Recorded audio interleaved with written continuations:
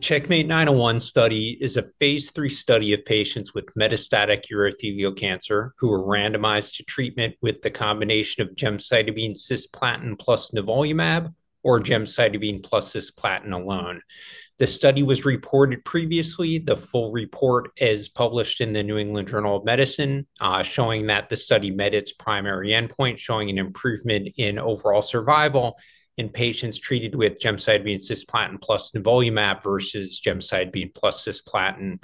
In this update analysis, we look at the subset of patients who've had a complete clinical response to treatment. Of course, in the setting of metastatic urothelial cancer, historically with the regimens that we've used, complete clinical responses occur in only a subset of patients. And what we saw in the Checkmate 901 study is that the complete clinical response rate doubled with gemcitabine cisplatin plus nivolumab versus gemcitabine plus cisplatin. It was about 20% with the uh, triplet regimen versus about 10% with gemcitabine and cisplatin. And so we were interested in determining further who those patients were who were achieving a clinical complete response and what the implications of, of those responses might be. So the first thing that we did was look at the baseline characteristics of patients on the study who went on to achieve a clinical complete response.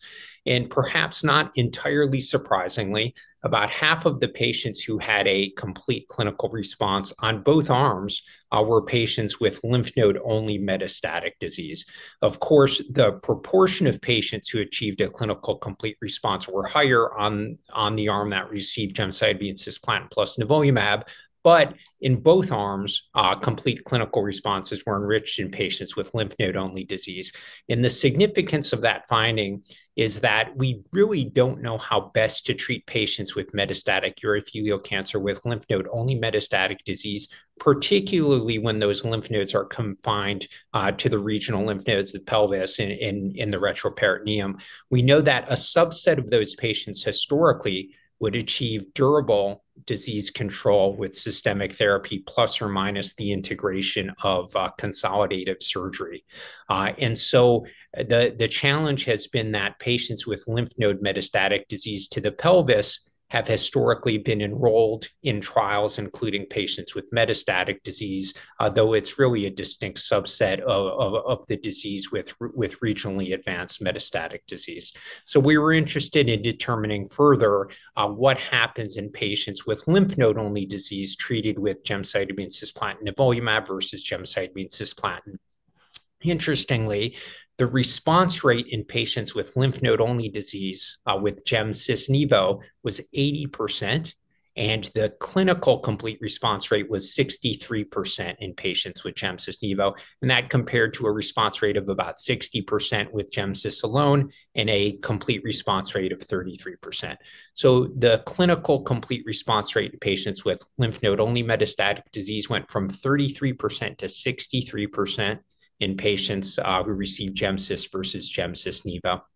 The next thing we did is look at what was the uh, disease trajectory in those patients because this regimen is given for a fixed duration of treatment. So GemCis is given for six cycles, and then nivolumab is continued in the absence of disease progression for up to two years, and then the treatment stops.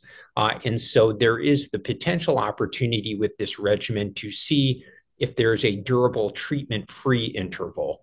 Uh, can patients achieve a deep, durable response and then remain off treatment, uh, which is certainly our goal?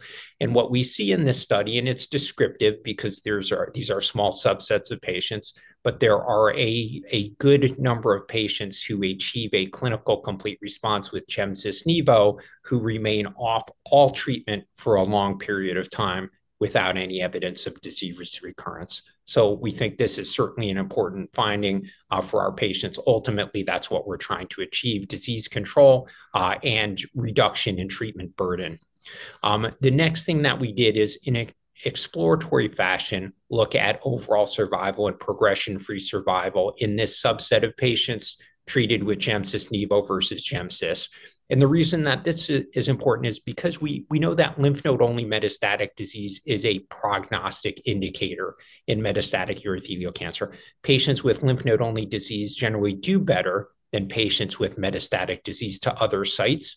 And so one could argue, uh, well, this these patients are destined to do better regardless of what you give them. Do they really need the triplet therapy? Should we reserve the triplet therapy for patients with more advanced disease uh, to other other areas?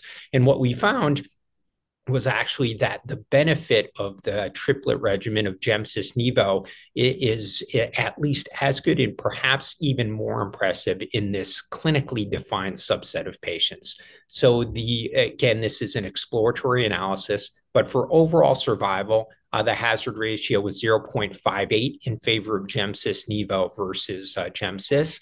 And uh, for progression free survival, the hazard ratio is actually 0.38. Uh, and so we can see that patients with lymph node only metastatic disease treated with Gemcis Nivo uh, have improved outcomes compared to Gemcis alone and have the potential to achieve durable disease control with a, a reasonable treatment free interval in a subset of patients. Um, of course, when we see results with a triplet regimen or with a combination regimen, the next question that we have to ask is at what cost does that come in terms of side effects?